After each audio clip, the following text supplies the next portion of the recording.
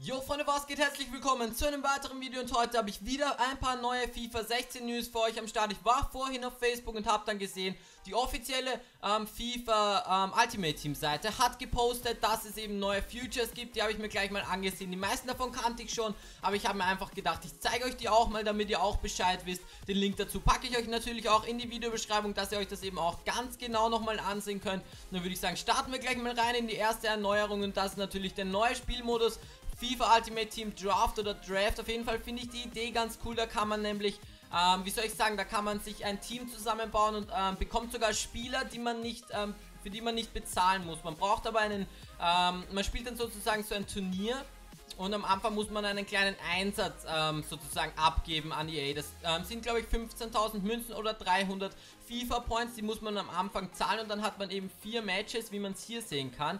Und wenn man dann eben alle gewinnt, dann kann man einen richtig gut, ähm, guten Preis gewinnen und ja, so läuft das eben. Das ist ein neuer Spielmodus, mehr weiß ich dazu auch noch nicht. Hier können wir sehen, das könnt ihr euch ja mal durchlesen. Drückt einfach auf Stopp und lest es euch durch.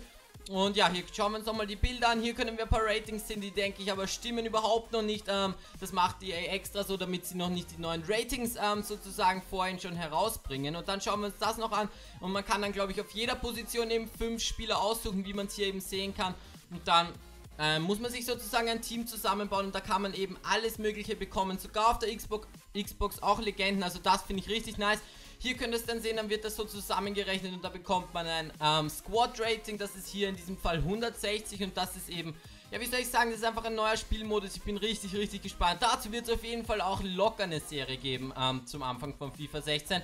Hier können wir sehen, man kann eben unter fünf verschiedenen Aufstellungen ähm, entscheiden und das ist auf jeden Fall auch wichtig, denn die Aufstellung muss man im ganzen Turnier beibehalten. Ne? Auch sehr wichtig. Auf jeden Fall drückt gerne den Link in der auf den Link in der Beschreibung. Dort ähm, habe ich eben auch nochmal das Ganze hier zusammengefasst für euch. Da kommt eben zur Seite, wo ich hier gerade bin und dann könnt ihr euch das ganz genau durchlesen und dann, würde ich sagen, machen wir weiter. Und hier können wir sehen, das neue Feature sozusagen. Ähm, ist nicht wirklich ein neues Feature, aber es sind einfach neue Legenden auf der Xbox verfügbar. Zum einen haben wir hier Best, Gattuso und Zanetti, die alte Legende aus Argentinien. Ähm, richtig gute ähm, Legenden wie zum Beispiel Ronaldo, also der Brasilianer, sind leider noch nicht dazu gekommen oder zum Beispiel ein Sidan. Dafür haben wir aber glaube ich auch Deco von Barcelona dabei, den Portugiesen. Also das sind schon richtig coole, ähm, das sind schon richtig coole Legenden dabei. Schade, dass ich nicht auf der Xbox spiele, also da hätte ich mich echt drauf gefreut. Ist eine gute Nachricht für alle Xbox-Spieler. Dann machen wir weiter. Ich glaube, es sind nur noch zwei oder drei ähm, neue Futures und das ist auf jeden Fall richtig nice. Ähm, hier könnt ihr sehen, bei den Auswechslungen, da wird die Karte angezeigt und das ist richtig nice, denn wenn der Gegner jetzt einen Ibrahimovic einwechselt, kann man nicht wissen, ist das jetzt sein Inform, sein Man of the Match, vielleicht aber auch ein Team of the Year, Team of the Season.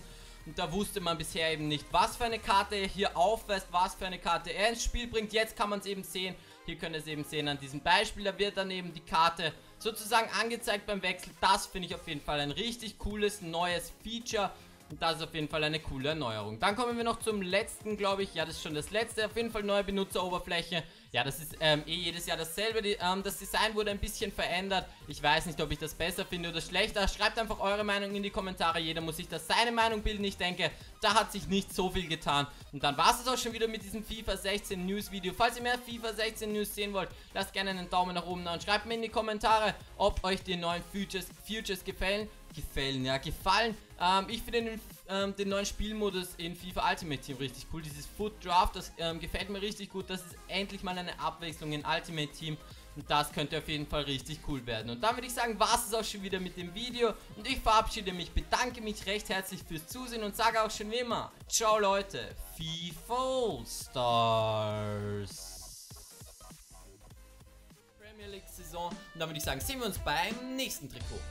Da haben wir dann das Trikot vom Startrivalen Manchester United und ich finde, es sieht eigentlich auch ziemlich cool aus. Chevrolet als Sponsor. Ich denke auch, es ist ein bisschen dünkler geworden als das vom letzten Jahr. Ich finde, es sieht eigentlich ziemlich cool aus. Das Ausweistrikot habe ich jetzt leider nicht am Start. Und dann sehen wir uns beim nächsten